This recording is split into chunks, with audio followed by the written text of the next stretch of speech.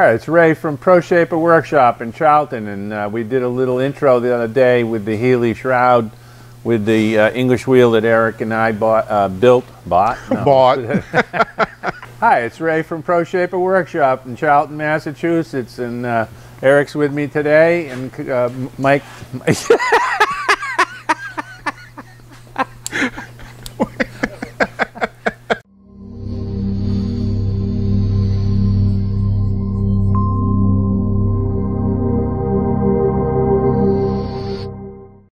Hi, it's Wray from Pro Shaper Workshop in Charlton, Massachusetts, and Eric's with me today. He's helping out, and Mark is doing the great video work that he normally does, and we even have a uh, observer here. Ed's watching because we can't let him work while we're videoing because he makes a lot of noise. So we gave a little introduction of the uh, mobile English wheel that uh, Eric and I built over the weekend last weekend, and we didn't really show it too much when we were working on the Healey shroud.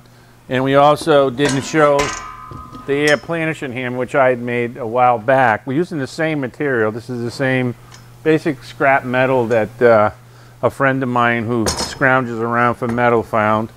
And I have a whole bunch of this stuff, and it just so happened to be the right diameter and the right thickness. And it's got plenty of strength to it. it had these beautiful 90 degree bends and we just took advantage of them by cutting it up and welding it. And I had this, uh, this is a CP original head here, and you could improve this by putting a hinge on it like we did over here, and you could have a hinge with a pin so that you could easily open it and then close it and put the pin and makes the die change a little bit easier. But this, uh, you can do it, but it, it's a little uh, less user friendly by doing it this way. If we had the hinge, it would be a little better. So I just wanted to run both of these machines on some sample pieces of metal. You can see what they do. And we've got some thin aluminum here. This is 40 thousandths aluminum. And then we have some 27 thousandths copper and some 40 thousand or 19 gauge steel pieces. And what I'll do is I'll, I'll, run the air hammer on each one of these pieces of metal and run the uh, mobile English wheel on each uh, one of these pieces of metal and you'll be able to see exactly what kind of results you can expect from them. So this is an air hammer which is an intermittent tool. So you've got intermittent contact. That is a constant contact. Once the wheels come together they're always in contact with one another. And I have a die here that has a little bit of crown to it. If I put a flat die in here it wouldn't do too much. So this probably has a little bit more crown than I have on the anvil on the on the uh, the English wheel. So this might actually work a little faster. But and then this has a air control. So we got this valve here that shuts the air supply off. This gives you the squeeze amount that you want and it also has a throttle capability. And this is a Chicago pneumatic uh, I think they probably were the late 40s that these came out. And they probably made them into the 60s so. Really loud, so I have to wear muffs with it.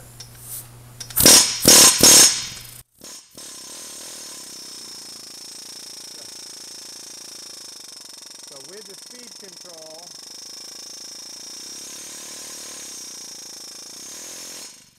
You've got a lot of different uh, ranges of, of hit that you can get with that speed control. You've got ranges of pressure that you can put on with that uh, thumb screw there. So what we're going to do is just run this a little bit right here and you'll see. I better put my muffs on. These things are super loud. You get three of these running in the shop, you go insane in about 15 minutes.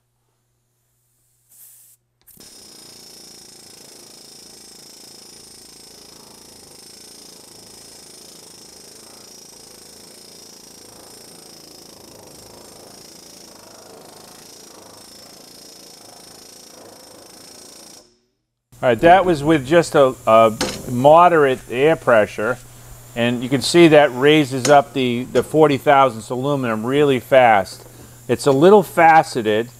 Uh, if you used a lower crown die, you wouldn't have as much faceting. But let's see what the blow looks like on this. We'll just hit one spot.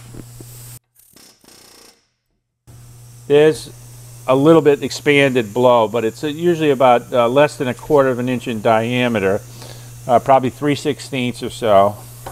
So let's go over here and I'll really wail on it over here.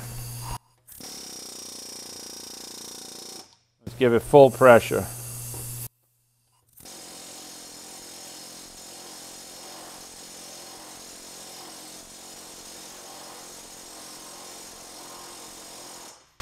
You can see that really pops it fast. And that's one of the advantages of a planishing hammer is it does isolated shaping in that one little spot. Whereas the English wheel is more for, uh, works better for larger uh, areas. The one uh, exception would be uh, the English wheels that have an axle on them. Uh, you can actually control that axle and you can limit how much you want to go back and forth with the axle and that will isolate the English wheel to a little tiny spot and you don't have to even push the metal through. It, the the wheels will draw the metal through. So now let's lower this down to as low as we can get it. We'll bring this back. Let's see if we can get this really low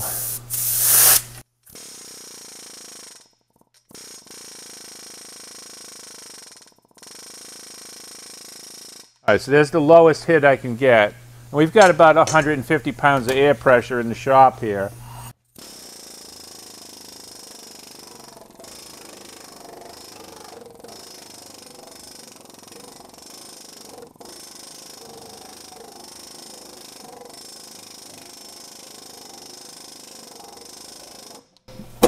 Now that's all on aluminum and we put a straight edge across it. You'll be able to see how much that rose up in just a matter of less than a minute or so. There's this one, and then this one with lower air pressure. So that's with 40 thousandths. This is 3003 aluminum. It's relatively soft. Uh, this one, the general rule of thumb on aluminum is whether you can bend it with your thumb. You can bend that with one thumb. So um, that's pretty soft stuff and it moves really quick. Now let's try the English wheel over here and we'll compare, compare the surface quality too. Every one of these tools has their pros and cons. All right, so both of these have a little bit of heft to them. You have to support them. And in this case here, the, the, the panel's not supported, so I'm not gaining any support from either the planishing hammer or the English wheel. So let's just do a little bit of tightening over here. We got a relatively flat it's a flat top wheel and we got a, uh, a little bit of crown on the bottom wheel. Now you can see this is really subtle. Now you can see the blow on this wheel here, the tracking pattern, is about 3 16ths of an inch or so.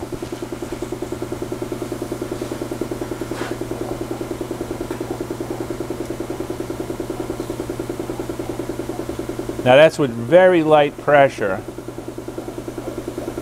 That's doing a really nice, subtle, subtle job. And there's no noise either. All right, let's put the, the you see that little crown we got? No noise, much better surface quality. See the surface quality here? See the surface quality here. To me, I am an English wheel fan versus a Planishing Hammer fan. That said, the Planishing Hammer does have its, its uses, especially in knocking down wells. It does really well. Some people do all their work with a Planishing Hammer. They make any kind of panel with a Planishing Hammer. Now, okay, that was really subtle. Let's move it over to here, and we'll give it a little bit more pressure. Now, we're going to make another one of these 18 inch it might be a little while before we get it done. And uh, we're going to make our own turnbuckle. I bought some uh, aluminum hex stock, so it'd be lightweight, and it, it's a much better uh, grab on that aluminum hex stock. It's like two inch aluminum hex stock. This here, I'm limited to how much I can turn this here. If I put a wrench on this, this probably would be a little bit better, but I I don't have the ability. You can really load these frames up. So I don't know if I can get enough pressure on. Let me try two hands. There.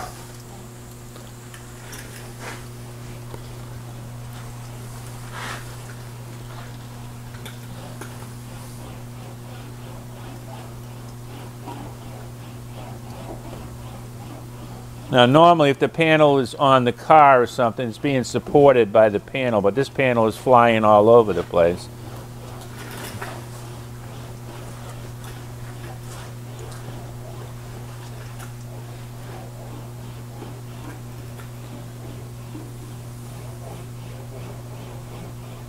So there's a little bit longer with a little bit more pressure. And you remember what the frame is, is actually a spring you're loading a spring tension into that frame. So the first one, we got a little bit of rock on that one. This one, now we got a considerable amount of rock. It was only a minute or two. So again, compare the, the surface quality. This surface quality is, is almost flawless. This is, is good, but it's faceted.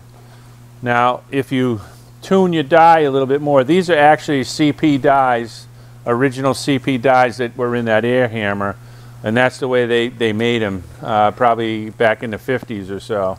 They came with the, the kit that you would buy when you bought the hammer. So, again, uh, this will raise it probably a little faster, a little further.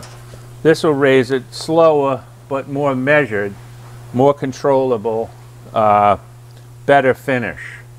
So that's the pros and cons right there. Now this is on aluminum, which moves a lot, moves quickly.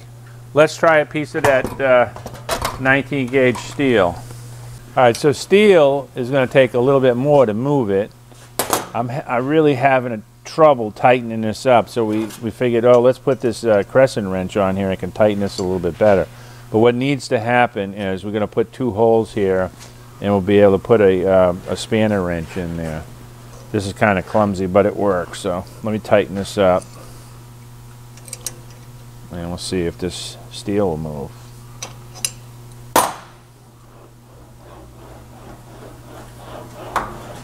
So it's leaving the uh, tracking marks. I can see it actually coming up, but you need a little bit more pressure to move the steel. And this frame has plenty of uh, potential pressure. The funny thing is I'm so used to using an English wheel, I'm not used to using this mobile one. So you have to learn to drive a little bit different now. It uh, Usually you're forcing the metal through the wheels. Here you're forcing the wheels through the metal. So you can see that came up really nicely. And then we'll loosen that, well actually we can bring it off and you can hear it. You can hear that snap of the frame there. So what do we got there? Let's take the, in just that little bit, we've got uh, a good quarter of an inch or so of rise in there, and it's super smooth. Very, very nice. Now, without the spanner, uh, I think that it'd be uh, ill-advised to try a heavier pressure here. But now let's put the air on and we'll see what the air can do. And I think you're going to find that the air will work that metal uh, higher and faster and quicker. The die is actually a little bit higher crown too than the anvil I have, so that gives the air hammer a little advantage. So we'll give it a little bit more pressure, uh, more air.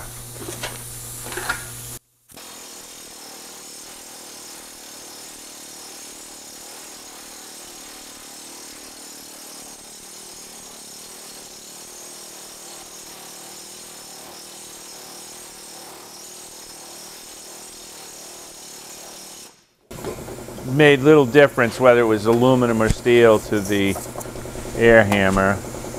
And we got about the same amount of rise or so out of that. Again, the finish, this is a little faceted. This finish is perfect.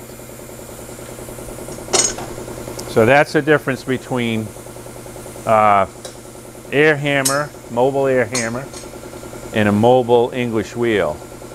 Now you can accessorize these things like crazy. Depends on how many dies you want to put on them. And you can put, make special dies for them. You probably can put uh, a bead roller set of dies on these too and, and actually roll beads with it. So we'll put that down. And then we have a few real world examples of taking dents out. Now, this fender here was a fender uh, couple students of mine made at the class for the Studebaker.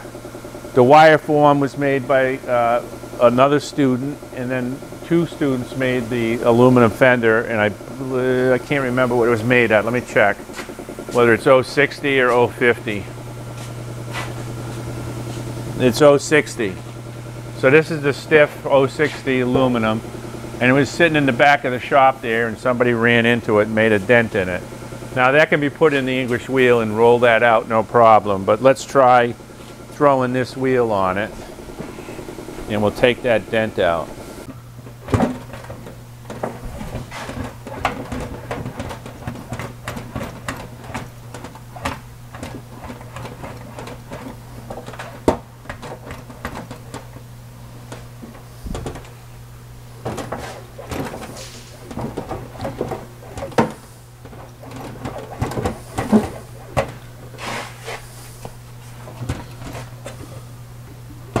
and turn the dies 45.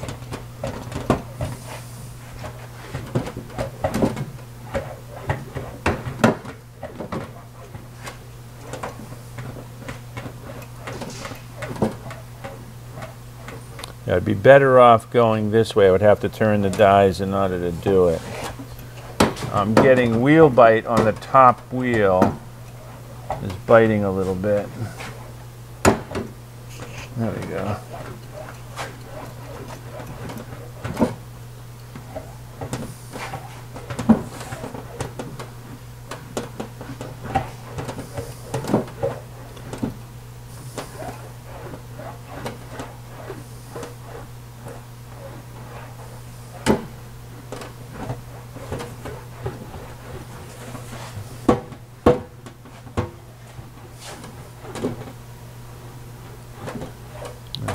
I really needed to go this way with it in order to get that right.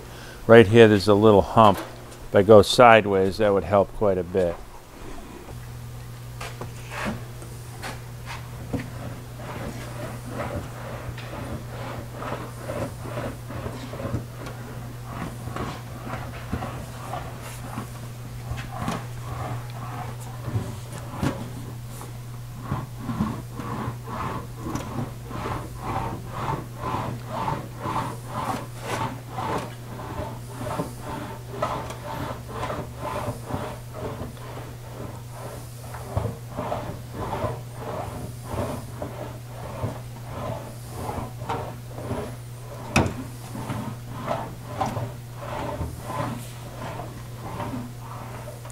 It's working really good.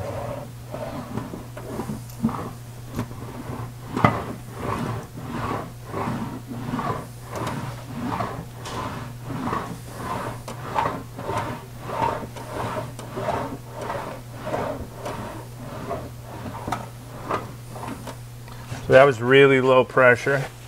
And um, uh, because that dent was so big, uh, the top wheel bit in a little bit, so it had to be sanded. It left a little bit of scarring there.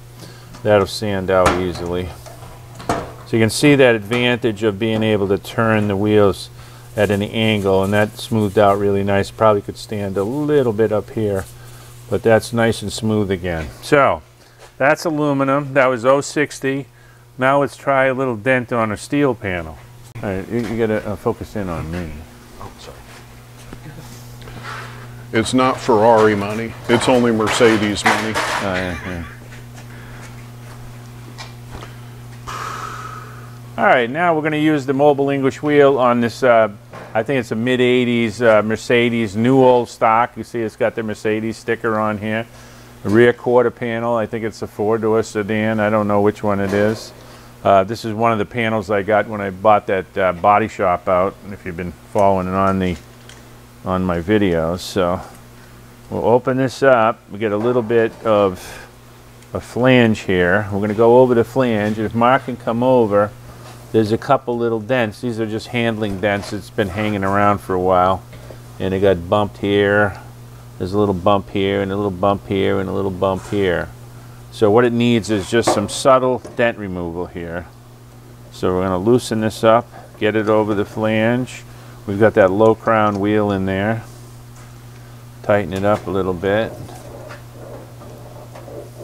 Now it's engaging.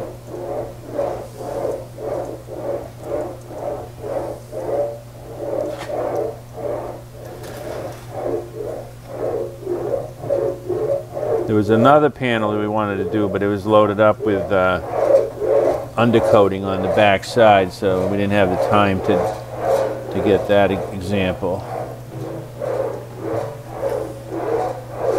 Now, is it okay to do this with the paint on it?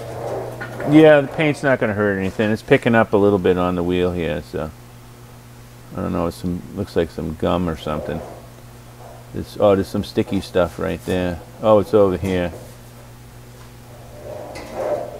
But that came out pretty good. The little um, spot that's hit from the other side, maybe we'll turn it over to get that one. Give it a little more pressure right in there.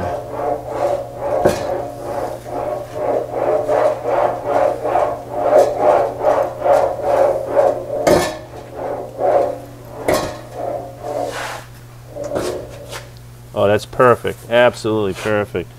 And we got this little dent here. Oh, even that little pinprick from the backside. looks like a a pick hammer almost. It's probably just something that bumped into it though.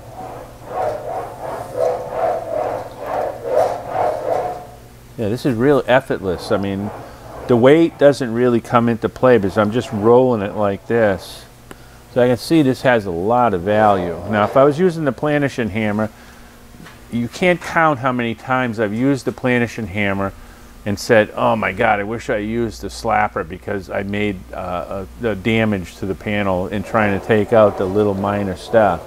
This is really good for this subtle stuff. I think I can get that little pinprick out too. Change the direction here a little bit.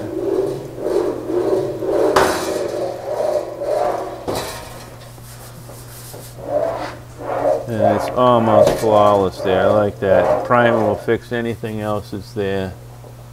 That looks really good. So I'm really happy. Um, great that we made this uh, mobile English wheel. We're going to make the bigger one. We're going to put it on uh, video. We'll, we'll actually enhance this design a little bit and make it a little better.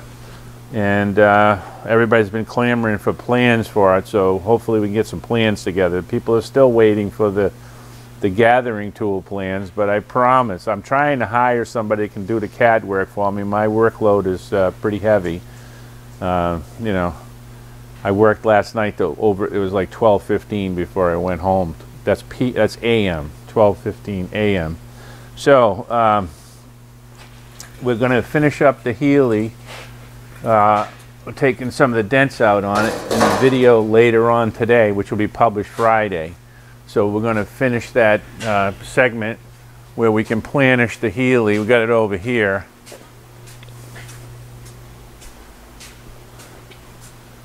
We got to get the Healey shroud, uh, the weld ground, so we can get in here and planish this all out. And we'll probably get the welds done around here.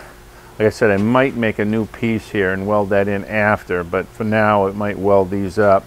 We'll weld this up and maybe we'll do a little bit of dent repair here, but we're going to show, uh, we might use the uh, air planishing, mobile air planishing hammer on this area here where it's really crunched up pretty good. Uh, but if the, uh, the English wheel, the mobile English wheel works good, we're going to use that also. Uh, so that's upcoming. That'll be published on Friday. It's Wray from Pro Shaper Workshop. And remember that metal is clay. Thanks for watching. Please subscribe. Please give us the likes. Hit that uh, notification button and give us the comments. Thank you. It's Wray Schelin from Pro Shaper Workshop.